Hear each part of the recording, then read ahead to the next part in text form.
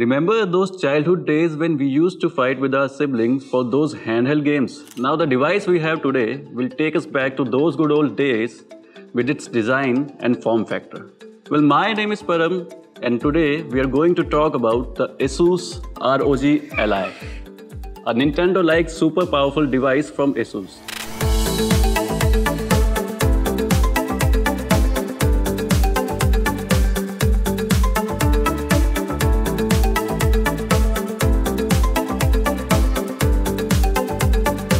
Let's talk about the design first. So the look, feel and attention to design details are really good.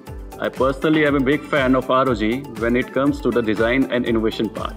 Up front we have this catchy display, the ROG badging at the bottom, the Xbox-like YBX buttons on the right with a joystick and another joystick on the left with a D-pad. Well, these joysticks have RGBs which can be customized as well. So here are those diagonally embossed front-firing speakers which is powered by Dolby Atmos and sound pretty decent. The keys are easily reachable and ideally placed for those who are habituated to the Xbox controllers. So there are a few more buttons in the front, like this one, which launches the command center and can be used to adjust the brightness, the sound, the performance, and a lot more. And this button right here will let you access the Armoury Crate, an app developed by Asus to store all your games in one place. Another keys can be used while gaming like an escape key and open the things like inventory. On the top we have RTB LTB triggers, a power key which works as a fingerprint scanner as well, volume buttons, IO ports, a 3.5mm audio jack and a micro SD slot. So here the ROG logo which doubles up as an air vent, a cool looking multicolor strip on the back which adds up to the overall design. So overall design is very grippy with 608 grams of weight which is evenly distributed. So now if we talk about the screen which is 7 inch IPS Gorilla Glass Victus touchscreen which is full HD and has a 120 Hz of refresh rate with 500 nits of brightness. The screen gives a pleasant gaming experience and watching videos will be a little bit better experience than the cell phones but it is a wee bit bigger than the phones, so not really a revolutionary upgrade. The bezels here could have been a little thinner. So now let's talk performance. Li really has some serious specs crammed into this small chassis. It can run almost every high-end games without any hiccups. Now this comes with AMD Ryzen Z1 Extreme 4nm Zen 4 processor with 8 cores and 16 threads. The CPU clocks up to 5.1 GHz Additionally, it has a 4GB Radeon RDNA 3 integrated graphics. Powered by Windows 11, ROG Ally has 16GB LPDDR5 RAM. With 512GB NVMe SSD, the storage is expandable as it has a microSD slot up front, which makes things even better. So is it a phone, a laptop or a tab?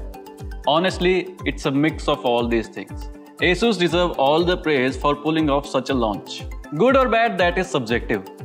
But to play AAA rated games in this portable device will really be something. So you can install games from Steam, Xbox and EA etc etc. However, you may find the Windows UI a little bit irritating. Considering the size of the screen, the UI should have been customized for better user experience.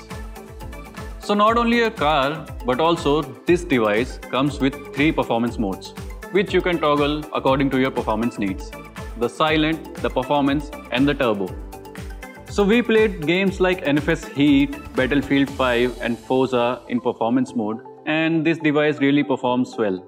Well, in terms of GPU squeezing games like Battlefield 5 and Forza, I experienced a few lags here and there. But if you adjust the graphic settings a little below the maximum, you will experience a good performance. You can easily control the resolution and FPS limiters via command center.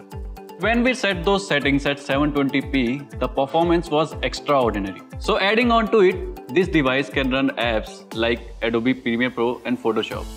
But it will fall behind on the apps like Adobe After Effects and 3ds Max. Furthermore, you can add an external screen to enhance your video watching experience. Now Asus and AMD must have put a lot of effort in designing this unbeatable combo of AMD processor and integrated graphics, which now they are calling APU, Accelerated Processing Unit. So in layman's language, APU is just a combination of CPU and GPU. Now talking about the battery life.